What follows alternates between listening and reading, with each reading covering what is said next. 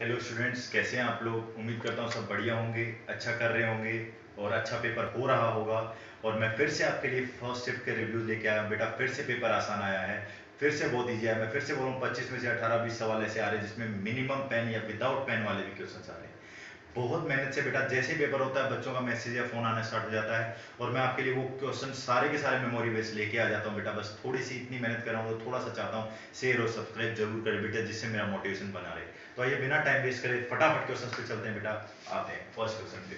बेटा first question आया था टेन की power six x sec square x अब सर इससे ज़्यादा आसान सवाल नहीं हो सकता लिमिट थी सर ज़ीरो से फाइव बाई फोर सर खत्म सवाल है टेन एक्स को टी मानेंगे sec square x d x d t लिखा हुआ है। तो सर टेन एक्स को टी मान लो, सर। अब वैसे लिखने वाला तो सवाल ही नहीं है, लेकिन फिर भी हम लिख लेते हैं। Sec square x d x क्या हो जाएगा, सर?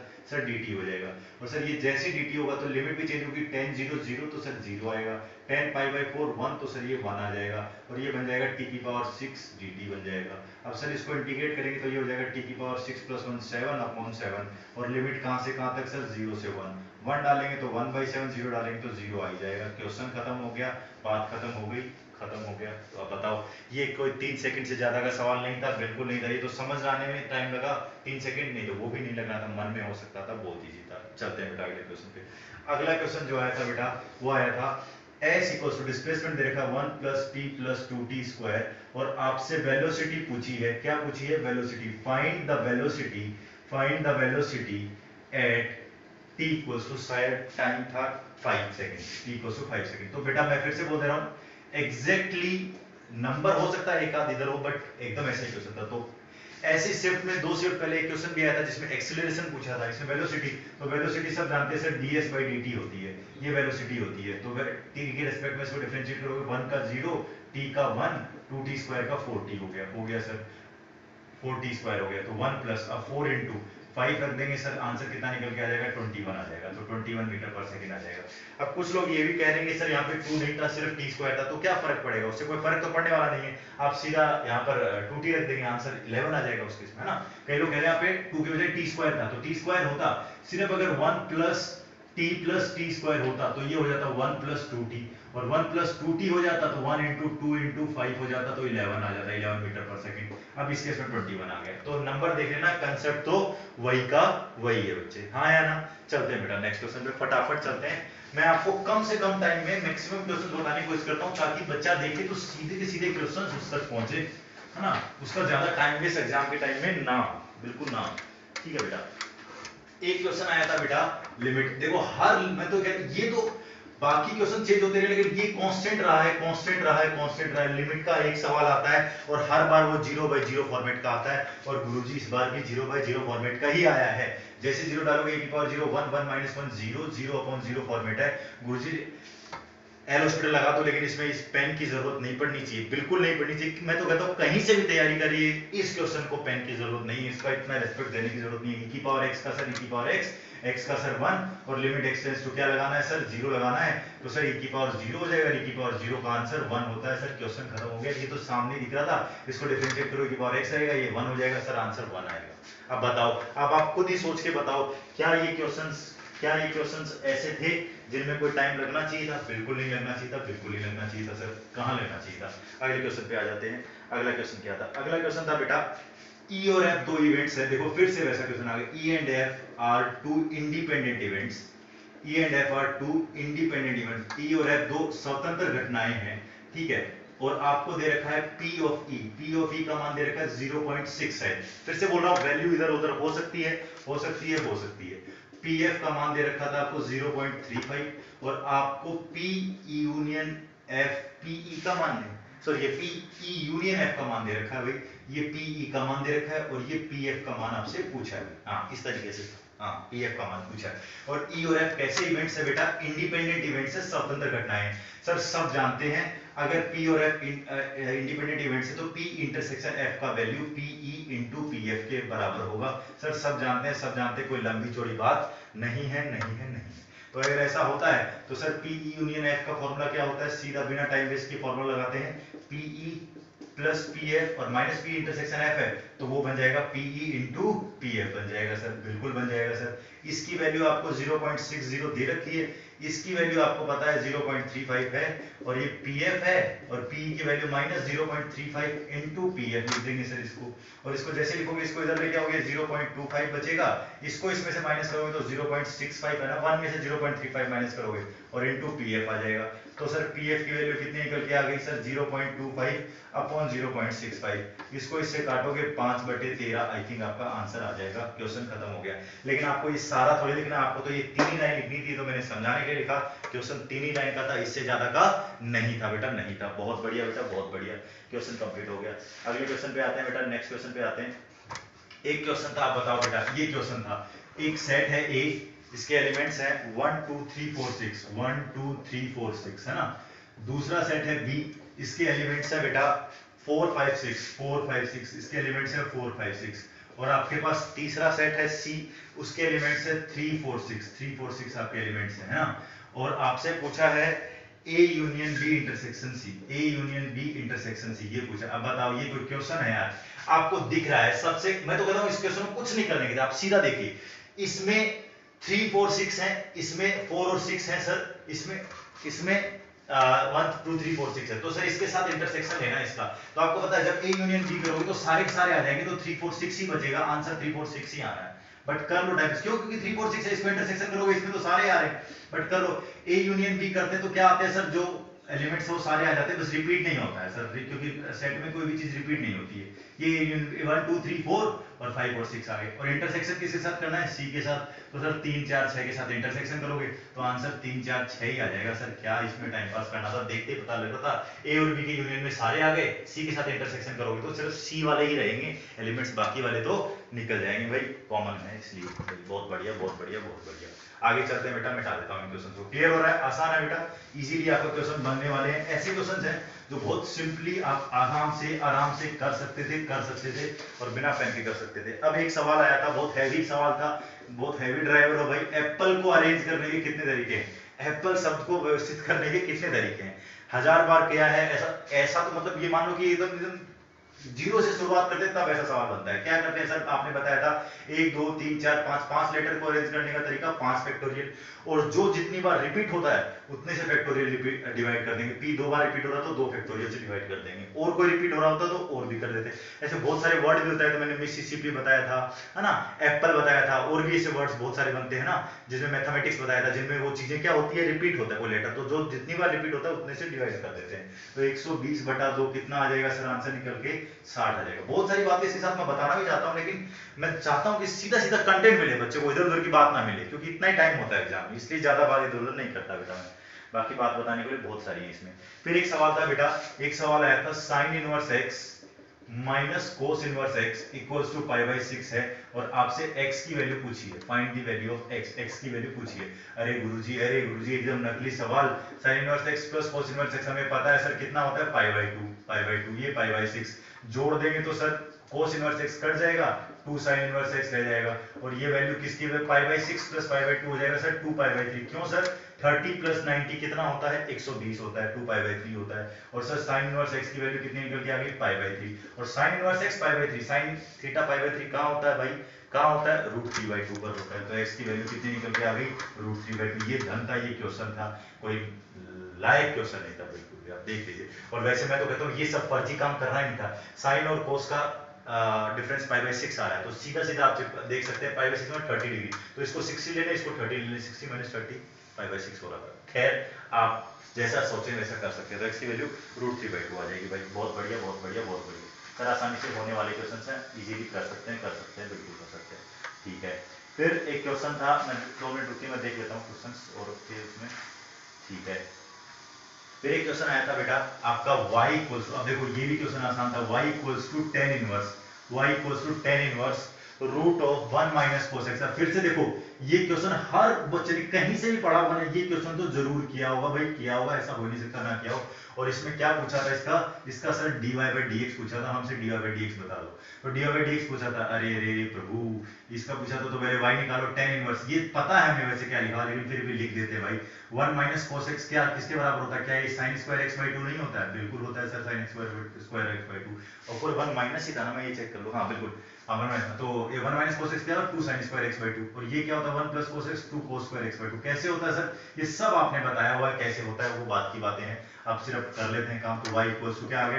इनवर्स ये स्क्वायर रूट कट जाएगा तो क्यों होता है? वो बताया मैंने स्क्वायर स्क्वायर ये वो हाफ़ एंगल वाला लग गया ना का स्क्वायर वाला.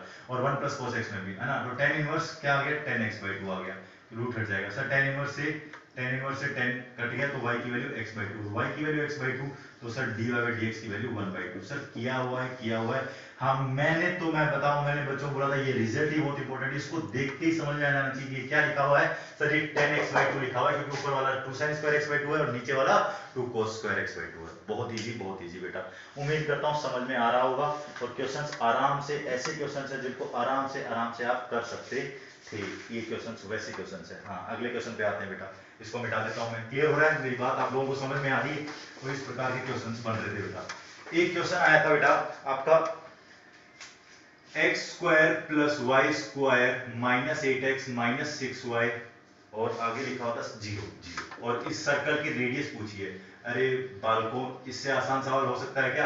रेडियस का फॉर्मूला होता है sir root of g square plus f square minus c sir g होता है एक्स कोफिशिएंट का आधा तो मतलब सही हो जाएगा आठ का आधा, चार तो चार का स्क्वायर हो जाएगा। सर छह का आधा मतलब तीन का स्क्वायर और सर सी तो है ही नहीं तो मतलब सी की वैल्यू ज़ीरो है सर ज़ीरो लिखोगे। और चार का स्क्वायर सोलह सोलह प्लस नौ, पच्चीस पच्चीस का रूट कितना आ गया रे? पाँच आंसर आ गया, क्वेश्चन खत्म हो गया, क्वेश्चन खत्म हो गया। और मैं कहता हूँ, ये तीन लाइन मेरे तो जो पढ़ाए हुए बच्चे थे, वो तो नहीं लिखेंगे, है ना? और उम्मीद करता हूँ, बाकी भी ना लिखेंगे कैसे ना लिखेंगे? देखिए, सीधा आठ का आधा चार, छह का आधा तीन तीन। कल भी मैंने पेपरों में बताया था कि ट्रिपलेट नंबर चार और तीन का ट्रिपलेट नंबर पाँच होता है। चार और ट्रिपलेट, तीन का ट्रिपलेट नंबर पाँच होता है बेटा। सीधा सीधा आंसर दे सकते हैं। आपको क्वेश्चन को करने की आवश्यकता नहीं थी नहीं थी, पेन लगाने की ज़रूरत नहीं थी। बहुत बढ़िया बेटा, बहुत बढ़िया। इजी था, सर इजी था, कर सकते हैं ना? अब अगले क्वेश्चन पे चलते हैं। एक क्वेश्चन ये आया था बेटा, अब देख लो z1 one equals to root two cos pi by four plus iota sine pi by four है ना? ये z1 है। और दूसरा दे रखा था z2 ये root three into cos pi by six plus iota sine pi by six ये वैल्यू दे रखा है। और आपको z one into z two का मॉडल पूछा, मालिक, कोई पेन की ज़रूरत नहीं है, खत्म क्वेश्चन है, खत्म क्वेश्चन है। क्यों खत्म क्वेश्चन है गुरुजी?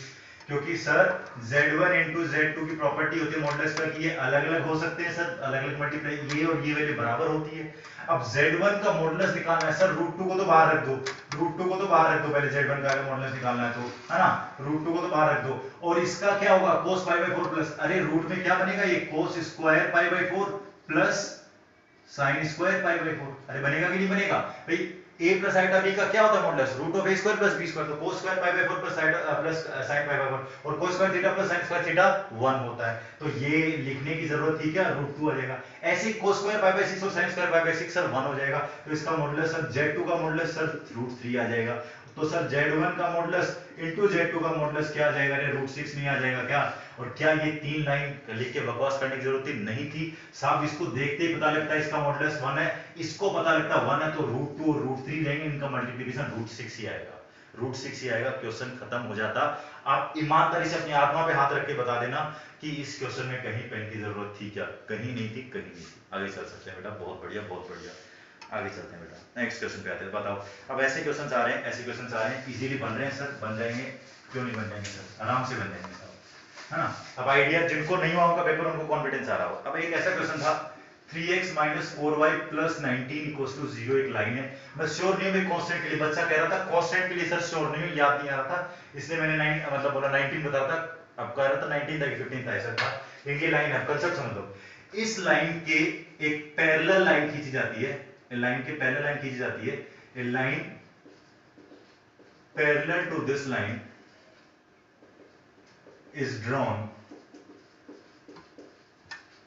and वो जो line and line passes through जो लाइन है जो खींची जा रही है पासेस थ्रू किससे पास कर रही है? थ्री कॉमा माइनस फोर से पास कर रही है। किससे पास कर रही है? थ्री कॉमा माइनस फोर से पास कर रही है। तो find the equation of that line find the equation of that line find the equation of that line अरे गुरुजी अरे गुरुजी, इससे आसान क्या होगा इक्वेशन निकालिए उस लाइन की, जो इस लाइन के पैरेलल अरे सर इस लाइन के पैरेलल है तो जो इसका स्लोप है, वही उसका स्लोप होगा। तो पहली बात तो इसका स्लोप कितना है? थ्री बाई फोर है सर तो इसका मतलब ये लाइन मतलब ये पार्ट तो सेम ही होगा उसमें भी। इस लाइन के दूसरी लाइन पैरेलल है। तो जो फ़र्स्ट पार्ट है वो तो सेम है, क्योंकि स्लोप सेम है। तो ये 3x 4y तो रहेगा रहेगा। इक्वल टू लेट कर लेते हैं अल्फ़ा कांस्टेंट नहीं पता है तो कांस्टेंट के लिए अल्फ़ा मान लिया इसके पैरेलल है। लेकिन ये वाली जो लाइन है वो 3 4 से पास कर दी तो 3 3 4 4 तो माइनस फोर अल्फ़ा तो चार चौक सोलह, पच्चीस तो अल्फ़ा की वैल्यू कितनी निकल के आ गई? पच्चीस आ गई। तो इसका मतलब सर लाइन क्या बन गई? तीन एक्स माइनस चार वाई बराबर पच्चीस आ गई क्वेश्चन खत्म हो गया सर, क्वेश्चन खत्म हो गया। इसमें भी पेन की ज़रूरत नहीं थी, बिल्कुल नहीं थी। मैंने क्या बोला, ये जो लाइन है, तीन एक्स माइनस चार y plus nineteen equal to zero इसकी एक पैरेलल लाइन खींची गई जो थ्री को माइनस फोर से पास कर रही स्ट्रेट लाइन का इससे आसान सवाल आ ही नहीं सकता यार। इससे आसान कुछ हो ही नहीं सकता यार। कि इसका यहाँ से पास कर इसके पैरेलल तो ये वाला पार्ट तो सेम है, और इक्वल टू इसको अल्फ़ा मान लिया। और थ्री को माइनस फोर से पास कर दी तो थ्री को फोर इसको माइनस फोर इसको सेटिस्फाई कराएँगे तो वैल्यू निकल गई, और वैल्यू निकल गई तो इक्वेशन आ गई। बिल्कुल आ गई, सर, क्यों नहीं आ जाएगी? क्यों नहीं आ जाएगी सर? हम पढ़े लिखे बच्चे हैं, क्यों नहीं आ जाएगी? अब देखो, dy by dx, मैंने बताया था, देखो देखो, फिर से डिफरेंशियल इक्वेशन का एक सवाल है, y by x, y by x equals to x cube y by x equals to x cube और आपको क्या बताना है? आपको बताना है find the integrating factor find the integrating factor जो बच्चे पढ़े, उनको वो बात भी याद होगी मैंने बताया था, दो तीन चीज़ें इसमें ज़्यादा इंपॉर्टेंट है, दो तीन चीज़ें। पहली तो सवाल जो इंटीग्रेशन डिफरेंशियल इक्वेशन पे आता है, वो किस पर आता है? डिग्री और ऑर्डर पे। पिछले दो दिन से डिग्री और ऑर्डर पे सवाल आता है, आ रहा था।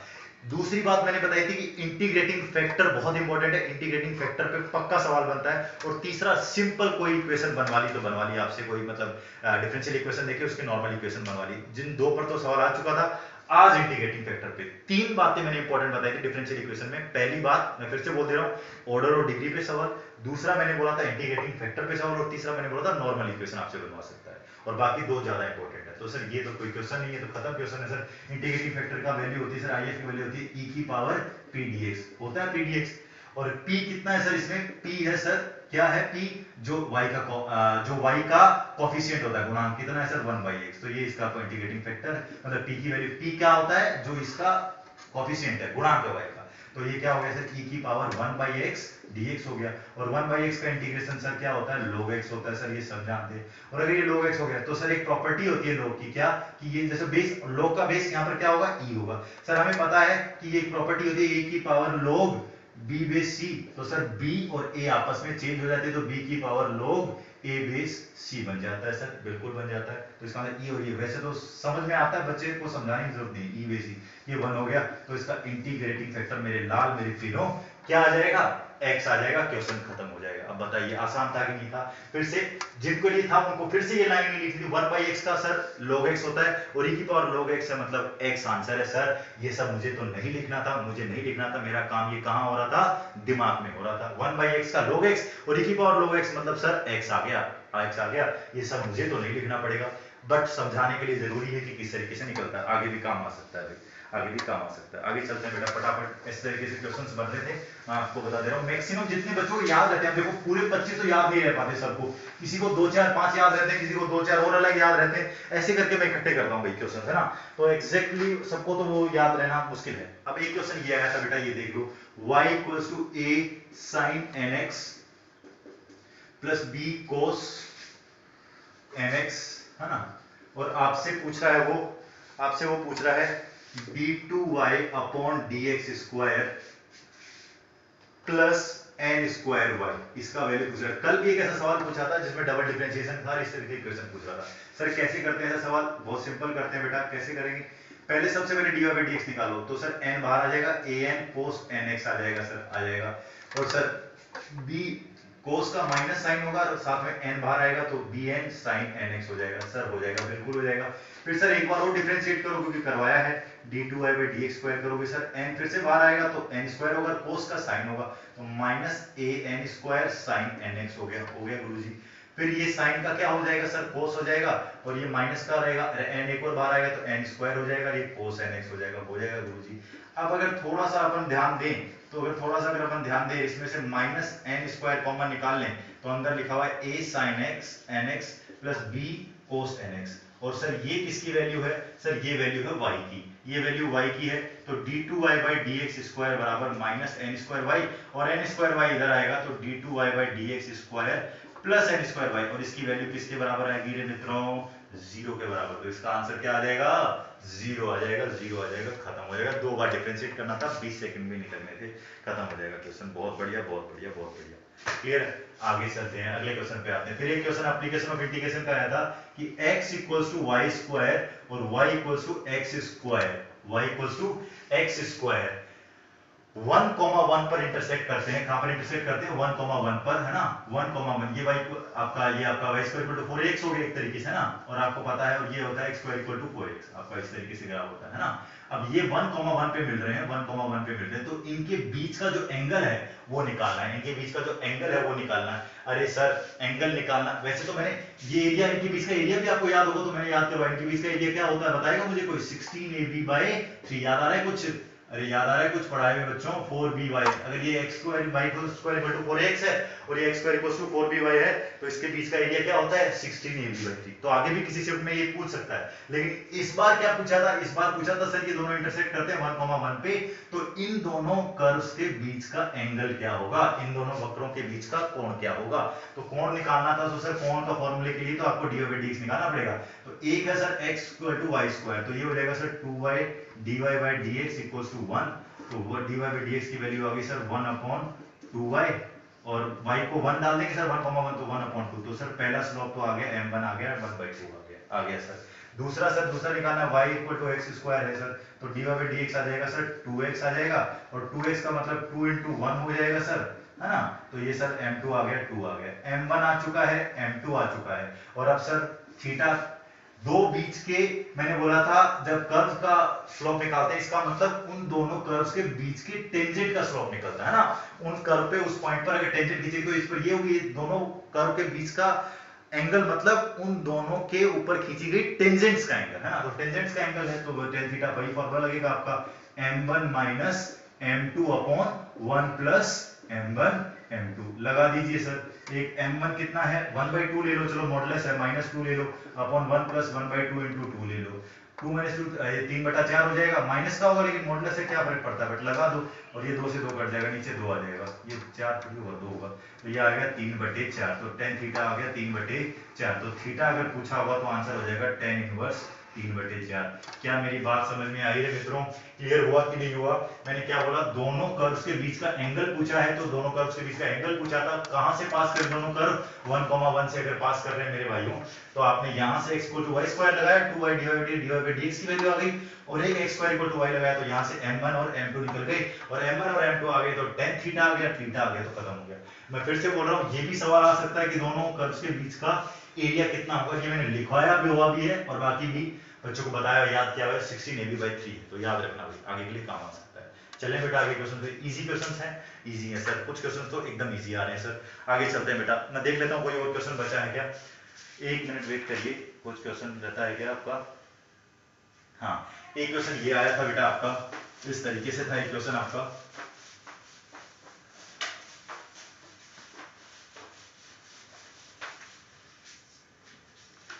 अब ये था बेटा, अब आप मतलब ये तो याद रखते हैं बच्चे मतलब इसका तो रिज़ल्ट यूज़ करके आगे बड़े बड़े काम करते हैं। आपसे सिर्फ़ इसका रिज़ल्ट पूछा था, log x का। और वन इंटू लॉग एक्स तो log x को इंटीग्रेट करना है रे बच्चों। वैसे तो याद रहता है सर, लेकिन फिर भी कर लेते हैं आपके लिए। First function into second function first function ऐसे के ऐसे और सेकंड फ़ंक्शन का आपका sorry first function log x ही था ना आपका हाँ x ही था सॉरी ये निकल दी फ़र्स्ट फ़ंक्शन इनटू ये सेकंड फ़ंक्शन तो फ़र्स्ट फ़ंक्शन ऐसे कैसे? सेकंड फ़ंक्शन का इंटीग्रेशन सर तो log x को तो ऐसे कैसे लिख देंगे। dx का इंटीग्रेशन कर लेंगे। Minus differentiation of first function sir into sir integration of second function ये हो जाएगा। यही होता है सर यूवी रूल लगता है इसमें मल्टीप्लिकेशन में। तो log x dx का सर होता है x, और log x का होगा सर 1 by x, और dx का होगा सर x कट जाएगा सर और प्लस क्या लिख देंगे सर c लिख देंगे। तो log x into X minus फिर dx का x हो जाएगा सर, बिल्कुल प्लस c हो जाएगा। और x कॉमन ले लेंगे तो आंसर क्या निकल के आ जाएगा? log x माइनस वन आ जाएगा और प्लस c आ जाएगा सर। क्वेश्चन खत्म हो गया, बात खत्म हो गई।